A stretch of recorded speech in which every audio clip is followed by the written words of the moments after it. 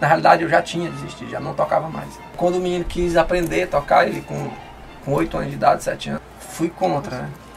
Até que um dia eu, com violão em casa, estudando uma música, uma peça lá do, do João Pernambuco, aí ele, ele escondido, ele pegou a peça de ouvido. Aí foi que eu acendeu a luzinha assim, esse menino tem talento. Não sabia nem que ele, que É, ele sabia tocar. eu não sabia que ele sabia tocar, né?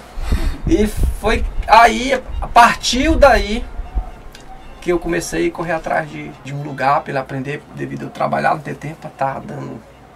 Aí eu consegui uma vaga para ele lá no SESI.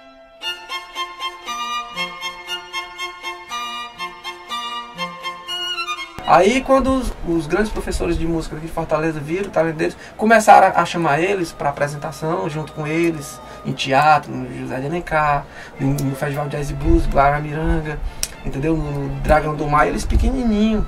E, e, e, e as orquestras também chamando eles para fazer participação. Então isso fez com que eu vi, não, o caminho é esse. E como eles tiveram muito ajuda assim das pessoas, por, devido a essa ajuda que eles tiveram, foi quando eles chegaram para mim e assim, pai, a gente quer abrir um projeto. Eu disse, poxa, é muita responsabilidade. O projeto, você, você não imagina. Aí eles falaram uma frase que acho que já virou, foi jargão. Já, da, eles chegaram para mim e disseram assim, não pai, eu, eu quero dar de graça o que eu aprendi de graça. Eles dois, né? A gente quer, como a gente já é, achou muitas pessoas para nos ajudar, a gente quer ajudar a nossa comunidade, a gente quer abrir um projeto. O que eles estavam é, é, cansados de ver os amigos deles morrerem aqui. E queriam ocupar a, a, a mente desses meninos para que dizer assim, ei, ei, tem uma coisa melhor do que droga, música. Então, o que o projeto realmente busca não é bons músicos e nem bons atletas, porque a gente também trabalhamos com, com escola de futebol.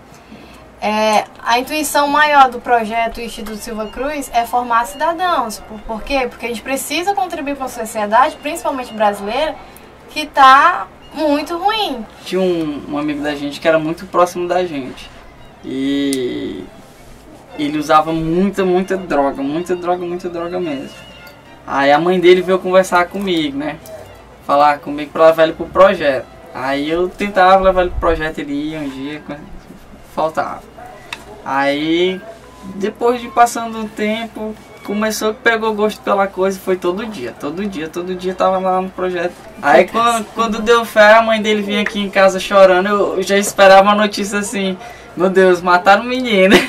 Quando eu fui a mãe dele chorando aqui, falando com a minha mãe, dizendo que estava agradecendo muito a nossa família, porque graças a gente, a, não foi a gente, né? Foi a se, música. Se transformou num menino. É, melhor, hoje ele, ele, ele um tá. filho melhor, um aluno melhor, hoje uma ele pessoa tá, melhor. Tá, tá fazendo o último ano né, do ensino médio e só fala em se formar em, em ciência da tecnologia, né? Que ele gosta muito de informática hoje. E eu, eu acho que foi uma grande transformação na vida dele. Mesmo com esse, essas barreiras que a vida pôs pra gente, é, o trabalho nunca deixou de ser feito com carinho e retribuído, os meninos retribuíram também com muito carinho e dedicação. Então, meio que essas barreiras não impediam é, é, que o trabalho fosse mostrado, que fosse visto pelo povo.